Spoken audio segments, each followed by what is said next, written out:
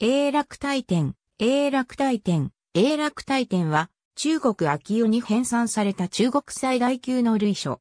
22,877巻、目録60巻1万1095冊からなる。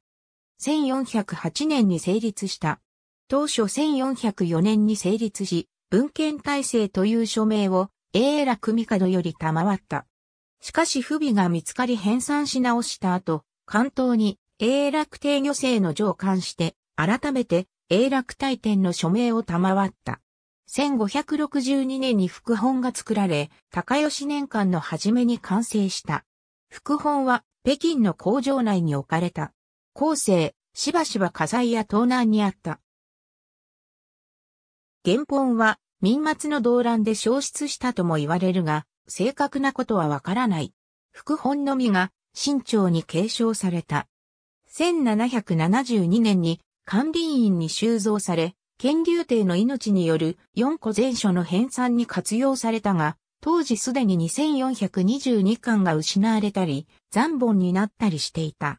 その後、アロー号事件、義和団の乱、及び盗難などにより、大部分は防逸してしまった。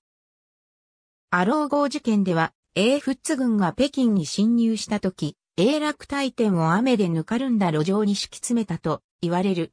また、文定式は100冊以上を盗んで自宅に蔵していたという。現在まで伝えられているものは、北京の中国国家図書館に162冊、台湾の国立呼吸博物院に62冊、アメリカ議会図書館に41冊、日本の東洋文庫に34冊など、各地に分散して残る。世界各地に散在する霊本を集めると、400冊前後にはなると言われ、それを修正した英印版も中華書局より出版されているが、それでも英楽大典の全体から見れば数パーセント程度の分量でしかない。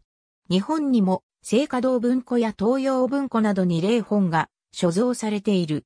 今日、死、古、州の四部から天文、知識、陰陽、異占い、騒動、義芸に及ぶ、あらゆる図書を原本によって収集している。それらを、後部聖印という印書の印の順序により、分類配列することによって、検索の便を図っている。ただし、短期間で完成させたゆえの粗雑さもまま見受けられる。中には後世になって散逸してしまった文献も含まれている。現行の旧五大師、総海洋修行、形成体天端赤門等は、信頼になり、本書中より収集して再生されたものである。